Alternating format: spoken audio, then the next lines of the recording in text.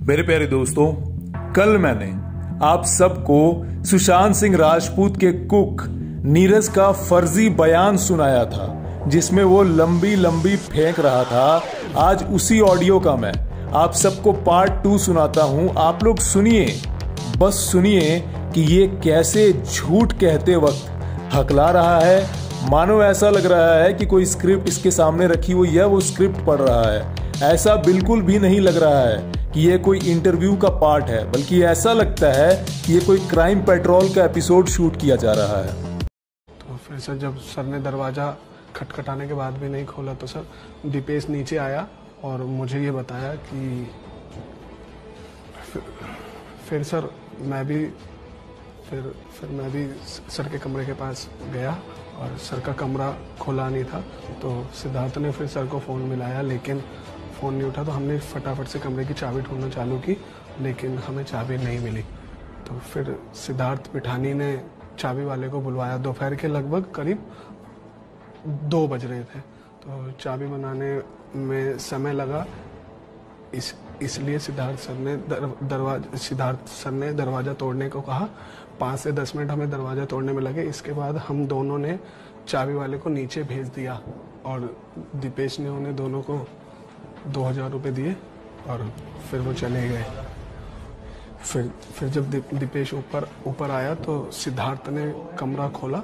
तब पूरा कमरा अंधेरा था और एसी चालू था।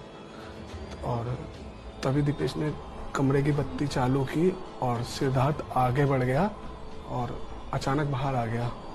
सुशांत सर का जो चेहरा खिड़की की तरफ़ मुँह करके और बिस्तर के किनारे हरे कुर्ते से हर, हरे कुर्ते से पंखे में लटका हुआ था। मैं बुरी तरह घबरा के मैं बुरी तरह घबरा के कमरे से बाहर निकल गया।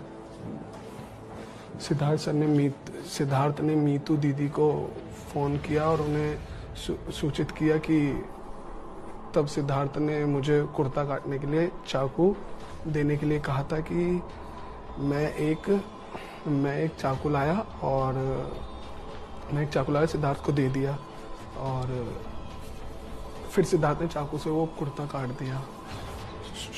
सुशांत सर के पैर बिस्तर पर टच हुए और और उनका शरीर बिस्तर पर गिर गया। इसी इसी समय इसी समय नीतू दीदी कमरे में कमरे में आई और चिल, चिल्लाने लगी गुलशन गुलशन तो नहीं ये क्या किया? फिर मीतू दीदी ने सर को मीतू दीदी ने सर को बिस्तर पर ठीक से लेटाने को कहा तो ठीक से लेटाने को कहा। फिर हमने सर को हमने सर को बिस्तर पर लेटाया उसी उस, उ, उ, उसी समय उ, उसी समय मैंने सुशांत सर के गले से कुर्ते की गांठ को खोला कुर्ते की गांठ को खोला दिया और उसके कपड़े को एक, एक कपड़े को एक एक एक तरफ़ फेंक फेंक दिया। सिद्धार्थ सर ने सुशांत की छाती को दबाया उसे सर को हो, होश में लाने की होश में लाने की को, कोशिश की, लेकिन इससे कोई फ़र्क नहीं पड़ा। फिर फिर सिद्धार्थ ने मदद के लिए पुलिस को पुलिस को फ़ोन किया। पुलिस को फ़ोन किया, फिर वहाँ पुलिस पुलिस पुलिस पुलिस आ गई, sir.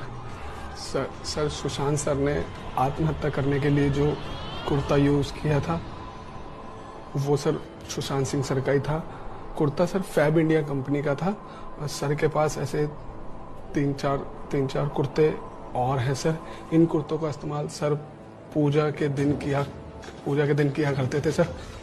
और सर तुम वहीं रहते हो तुमने सब देखा तुम्हें क्या लगता है? पाँच छः महीनों से सर की तबीयत भी ठीक नहीं थी तो इसी कारण उन्होंने आत्महत्या की होगी सर।